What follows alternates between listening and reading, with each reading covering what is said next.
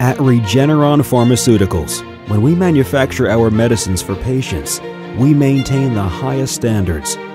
Every day, we build on the values of trust, teamwork, transparency, respect, and drive for continuous improvement. Improving our product quality, delivery, flexibility, and efficiency through SLIM, our grassroots continuous improvement initiative.